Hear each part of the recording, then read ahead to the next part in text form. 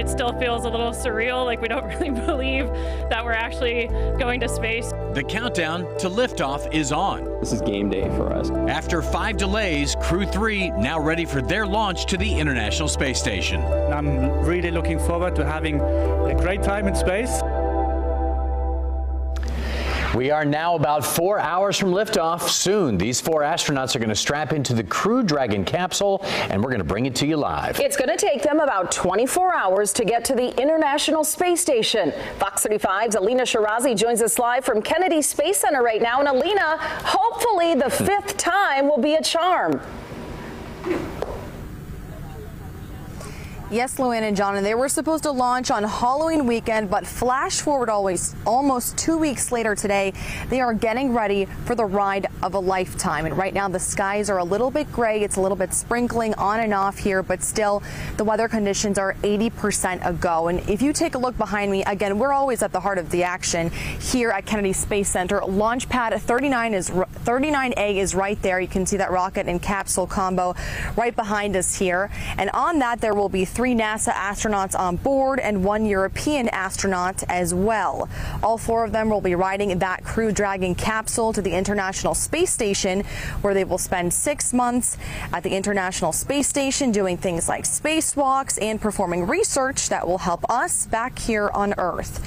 NASA's acting certification manager for SpaceX, Carla Cook, says Crew 3 has passed all of their flight readiness reviews and is ready to go we by no means, you know, this isn't routine for us, and it's a new mission each time. We take that into consideration.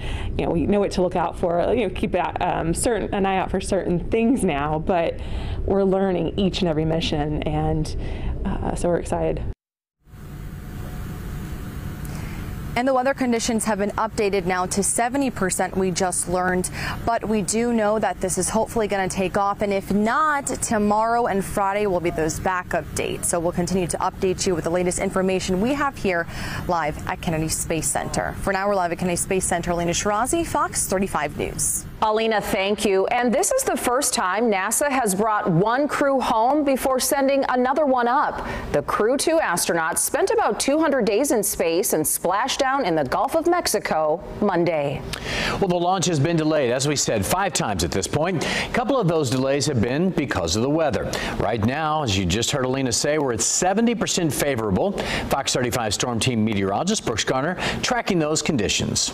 Yeah, those conditions may be updated yet again. We've got a lot of showers in the vicinity, and there are a couple of rules that they have to adhere to as far as launching through cloud decks and also areas of rain. Fox 35 storm tracker radar right now zooming in on some showers on the Cape. But remember, we're hours away. This is going to launch at 9 o'clock, 9.03, and it's only about 5.04 right now. So the hope is that all of this rain moves on before the launch, and maybe we can even catch a break in the clouds. So there's still time. There's still hope. But if it was happening right now, it may be delayed thanks to the weather. But these showers right now are moving north at about about 8 miles per hour, which will put it right in the Banana River, right square in the middle in about 10 minutes time from now, right over launch pad 39A shortly thereafter. But again, we still have hours to go, and there is hope for some better conditions. Now, as far as the future goes, future clouds and rain forecast for this specific spot at 9 o'clock, there is likely going to be a couple of showers at least out over the open Atlantic, out over the range from the direction in which they launch. So these will be other areas to monitor as well not just the Cape, but the weather just east of the Cape. And I've got your forecast update coming up.